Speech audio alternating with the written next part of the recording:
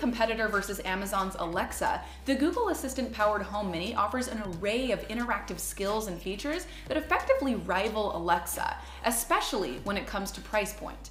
But even with the incentive of spending less money and having access to the many features Google Assistant has to offer, many users find themselves looking to trade in for a better model or brand, and a complete reset is necessary. Here's how. First, you need to figure out what generation of the Google Home Mini you own. If you're not sure, all you need to do is flip the speaker over. If there's a wall mount screw slot, it's a second gen model. No screw, it's a first gen. For the second gen, you should find a microphone on-off switch on the side of the device. Be sure to flip it to off. The LED lights on the top of your speaker should pulse orange. Press and hold the center of the Nest Mini right where the lights are located. You'll hear a chime once and the reset is complete.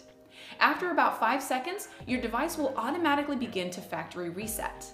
Once you hear the chime, the reset process is complete. For the first gen models, the reset button is located below the power cord on the bottom of your device. Press and hold the reset button until you hear the chime. It indicates that the factory reset has been completed. It's important to note that a factory reset cannot be performed with the Google Home app. Completing a factory reset will clear the data from the device and it will get the speaker ready for a new user. Now, if you simply need a reboot, all you need to do is try a simple power cycle. Begin by unplugging the device, leaving it unplugged for about one minute, and then plugging it back in. You can also use the Google Home app and go to Settings, then to Device Settings, and pressing the More button. The More button is the three dots. Then you select Reboot.